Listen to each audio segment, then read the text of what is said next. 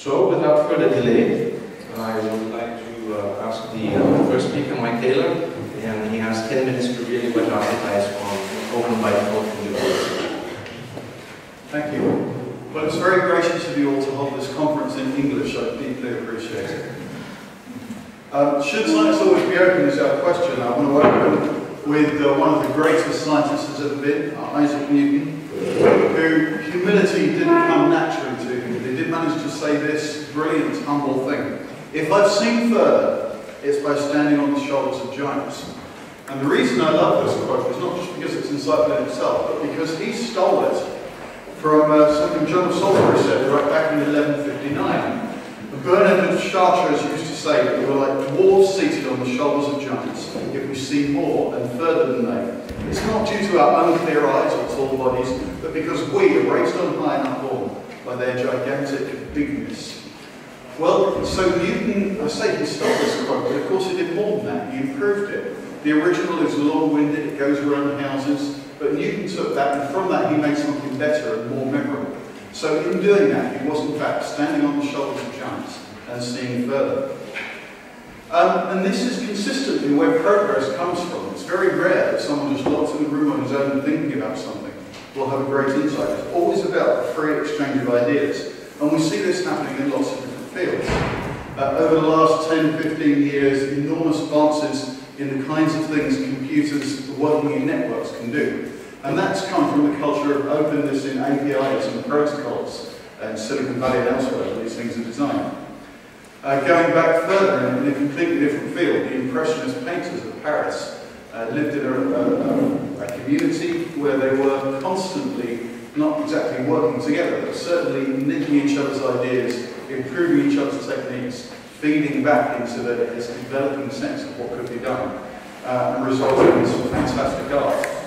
And looking back yet further, uh, Florence in the Renaissance was a seat of all sorts of advances in the arts and the sciences. And again, because of this culture of many minds working together uh, and yielding insights and creativity that would not have been possible with any one of them. And this is because of network effects, or Metcalfe's law expresses this by saying that the value of a network is proportional to the square of the number of nodes in that network. So in terms of scientific research, what that means is if you have a, a corpus of published research outputs of papers, then the value of that goes, it doesn't just increase with the number of papers, but it goes up with the square of the number of papers. Because the value isn't so much in the individual bits of research, but in the connections between them. Um, that's where great ideas come from. One researcher will read one paper from here, one from here, see where the connection or the contradiction is, and from that comes a new idea. So it's very important to increase the size of the network of what's available.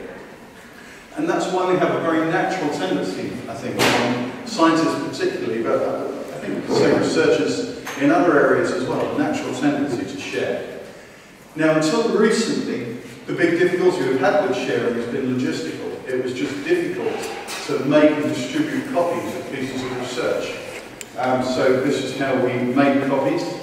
Uh, this was what we stored them on and uh, this is how we transmitted them from one researcher to another.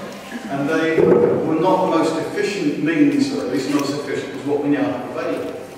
Uh, and because of that, and because of the importance of communication and the links between research, I would argue that maybe the most important invention of the last hundred years is the internet in general, and the World Wide Web in particular. And the purpose of the web was initially articulated in the uh, first public post that Tim Berners-Lee made in 1991. He explained not just what the web was, but what it was for, and he said, the project started with the philosophy that much academic information should be freely available to anyone.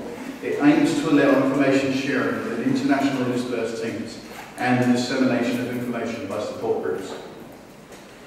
So that's what the web is for, and here is why it's important. And I'm quoting here from Cameron Neylon, who's great on this kind of thing. And again, it comes down to connections, and I'm just going to read out loud from his blog. Like all developments of new communication networks, SMS, fixed telephones, telegraph, railways, and writing itself, the internet doesn't just change how well we can do things, it qualitatively changes what we can do. And then later on in the same post, At network scale, the system ensures that resources get used in unexpected ways. At scale, you can have serendipity by design, not by blind luck. Now, that's a paradox, it's almost a contradiction, isn't it? Serendipity, by definition, is, what you get by blind luck. But the point is when you have enough connections, enough papers floating around in the same open ecosystem, all the collisions happening between them, it's inevitable that you're going to get interesting things coming out. And that's what we're aiming towards. Uh, and of course, it's never been more important with um, health crises, new diseases, uh, the diminishing effectiveness of antibiotics, the difficulties of feeding a world of many millions of people, and the results of climate change. It's not as though we're short of significant problems to, to deal with. So, I love this John Foley quote. He said, your job as a researcher, your job is not to get tenure, your job is to change the world. Tenure is a means to an end, it's not what you're there for. So this is the importance of publishing. So of course the word publish comes from the same root as the word public. To publish a piece of research means to make that piece of research public. And the purpose of publishing is to open research up to the world, and so open up the world itself.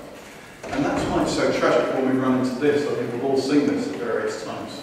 You go to read a piece of research that's valid, uh, that's relevant to either the research you're doing or the, the job you're doing in your company or whatever it might be, and you run into this paywall, uh, $35.95 to read this paper, um, is a disaster because what's happened is um, we've got a whole industry whose existence is to make things public and who, because of accidents of history, have found themselves doing the exact opposite.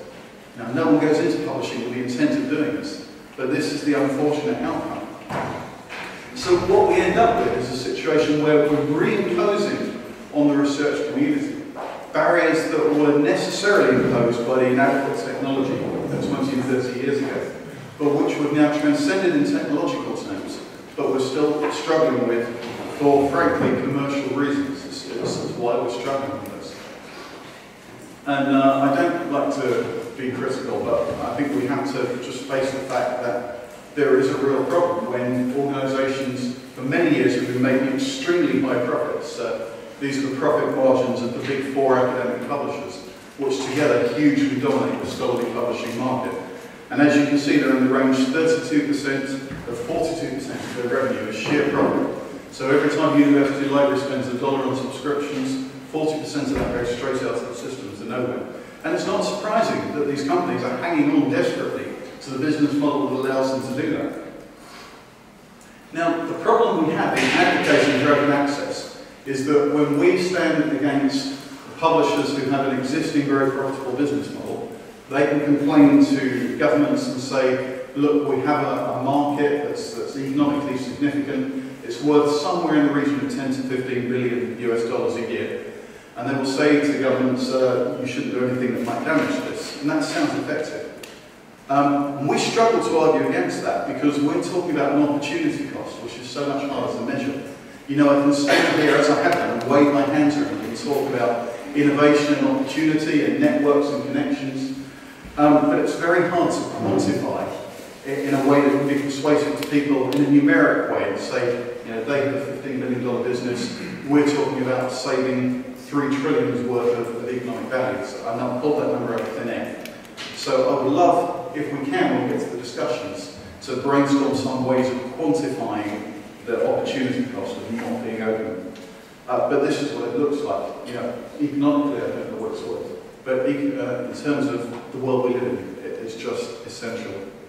So we've got to remember the mission that we're on. We're not just trying to save costs by going to open access publishing, we're trying to transform what research is and what it's for. So should science always be open, of course the name of the session should have been, of course, science should always be open.